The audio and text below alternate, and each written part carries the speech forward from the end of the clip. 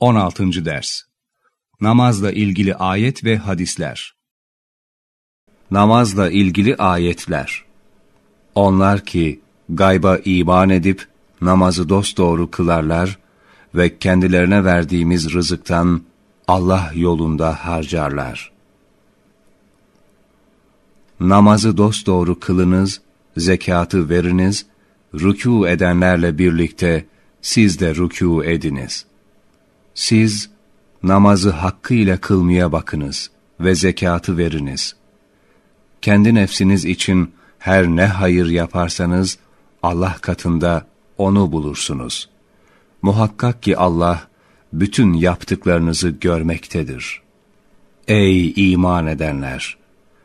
Sabır ve namazla yardım isteyiniz. Şüphe yok ki Allah sabredenlerle beraberdir. İman edip iyi işler yapan, namazı dosdoğru kılıp zekatı verenlerin Rableri katında elbette mükafatları vardır. Onlara hiçbir korku olmadığı gibi onlar mahzun da olmazlar. Onlardan ilimde derinleşmiş olanlar ve iman edenler sana indirilene ve senden önce indirilenlere iman ederler. Onlar namazı kılan, zekatı veren, Allah'a ve ahiret gününe iman edenlerdir. İşte onlara büyük bir mükafat vereceğiz. Sizin asıl dostunuz Allah'tır. O'nun Resulüdür ve namazlarını kılan, zekatlarını veren ve rükû eden müminlerdir.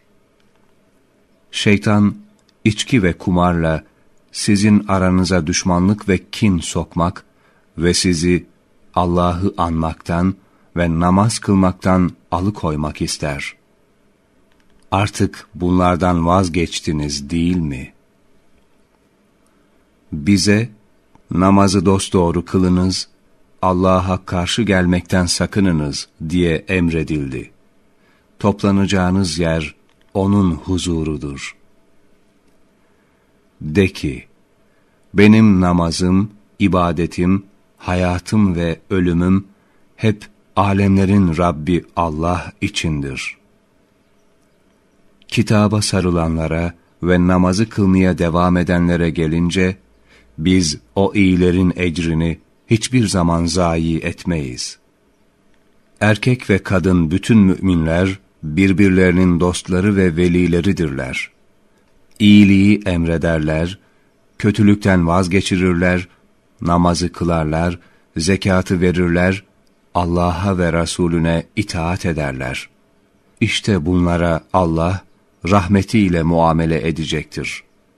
Çünkü Allah azizdir, hakimdir. Rablerinin rızasını kazanmak arzusuyla sabrederler ve namazı dosdoğru kılarlar ve kendilerine verdiğimiz rızıklardan gizli ve açıkça Allah yolunda harcarlar ve kötülükleri iyiliklerle yok ederler. İşte bunlar ahiret hayatı kendilerinin olacak olanlardır. Ey Muhammed! İman eden kullarıma söyle, namazı dosdoğru kılsınlar, alışveriş ve dostluğun olmadığı bir gün gelmeden önce, kendilerine verdiğimiz rızıktan açık ve gizli Allah için harcasınlar. Ey Muhammed! Ehline namaz kılmalarını emret. Kendinde ona sabırla devam et. Biz senden bir rızık istemiyoruz. Seni biz rızıklandırıyoruz. Güzel akıbet, takva sahiplerinindir. Onları buyruğumuz altında insanlara doğru yolu gösterecek önderler kıldık. Kendilerine hayırlı işler yapmayı, namaz kılmayı, zekat vermeyi vahyettik. Onlar bize kulluk eden kimselerdir. Ki Allah anıldığı vakit onların kalpleri titrer. Onlar başlarına gelene sabreden, namaz kılan kimselerdir. Kendilerine verdiğimiz rızıktan Allah yolunda harcarlar. İnsanlardan bazıları vardır. Allah'ı tesbih ederler ki, ne ticaret, ne de bir alışveriş, hiçbir zaman onları Allah'ı anmaktan, namaz kılmaktan ve zekat vermekten alıkoyamaz. Onlar, kalplerin ve gözlerin allak bullak olduğu bir günden korkarlar. Namazı kılınız, zekatı veriniz ve peygambere itaat ediniz ki rahmete eresiniz. Sana vahyedilen kitabı oku ve namazı kıl. Muhakkak ki namaz, hayasızlıktan ve kötülükten alıkoyar. Allah'ı anmak elbette en büyük ibadettir. Allah yaptıklarınızı bilir. Yavrucuğum, namazı kıl, iyiliği emret, kötülükten sakındır, başına gelenlere sabret. Çünkü bunlar azmi gerektiren işlerdendir.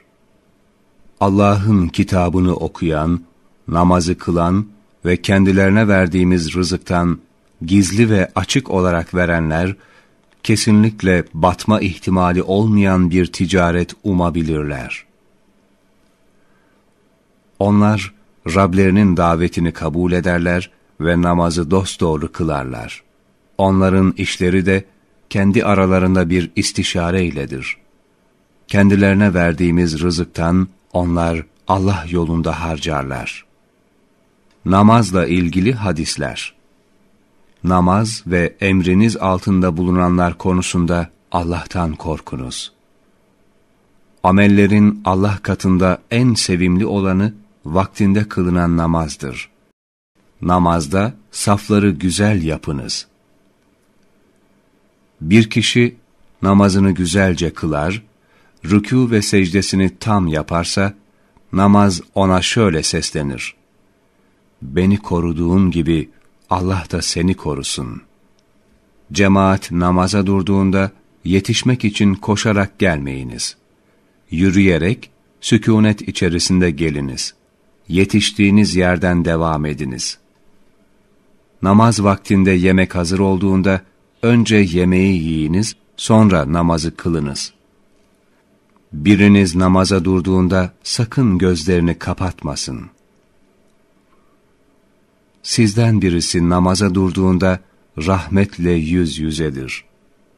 Doğruluk üzere bulununuz. Doğruluk ne güzeldir. Sizin işlerinizin en hayırlısı namazınızdır. Allah'a ibadet et ve O'na hiçbir şeyi ortak koşma. Namazı dosdoğru kıl, zekatı ver, hac yap, umre yap, Ramazanda oruç tut. İnsanların sana nasıl davranmalarını istiyorsan, sen de onlara öyle davran. Sana karşı yapmalarından hoşlanmadığın şeyleri, sen de onlara yapma. Bana altı şeyi yapacağınıza söz veriniz, ben de size cennete gireceğinize söz vereyim. Bunlar, namaz kılmak, zekat vermek, emaneti korumak, namusunu korumak, helal yemek ve dili korumak. Namaz, mümini Allah'a yaklaştırır. Kişinin kıyamet günü ilk hesaba çekileceği ameli namazıdır. Namazı sağlam olursa, diğer işleri de sağlam olur. Kişi namaz kılmak için abdest almaya başladığında, ellerini yıkayınca elleriyle işlediği günahlar dökülür, yüzünü yıkayınca kulaklarıyla ve gözleriyle işlediği günahları dökülür, kollarını ve ayaklarını yıkayınca ise bütün günahları dökülmüş olur. Namaza durunca da Allah onun derecesini yükseltir de yükseltir. İslam beş şey üzerine kurulmuştur. Allah'tan başka ilah olmadığına, Hz. Muhammed'in onun elçisi olduğuna şahitlik etmek, namaz kılmak, zekat vermek, hacca gitmek ve Ramazan'da oruç tutmak. Üç şeyin vakti geldiğinde geciktirilmesi doğru değildir. Namaz, cenaze ve evlenme çağı gelen bekar. Namaz, gözümün nuru kılındı. Kıskançlık, ateşin odunu yiyip bitirdiği gibi, iyilikleri yer, bitirir. Sadaka vermek, suyun ateşi söndürdüğü gibi kötülükleri söndürür. Namaz, müminin yüzünün nurudur. Oruç, cehenneme karşı kalkandır. Dua rahmetin anahtarıdır. Abdest, namazın anahtarıdır. Namaz, cennetin anahtarıdır. Namaz, müminin nurudur. Namaz, dinin direğidir. Çocuğa yedi yaşına geldiğinde namazı öğretiniz. Namazın her hareketine on sevap vardır. Hadis-i şerifler, Celaleddin Es-Suyuti'nin Cami-us Sagir adlı eserinden derlenmiştir. Allahu Teala'dan isteğimiz şudur ki, bu çalışmalarımızı faydalı kılsın. Bunlardan istifade edenlerin sayısını artırsın. Okuyanları ve okutanları rahmetiyle kuşatsın. Ecdadına rahmet eylesin. Amin.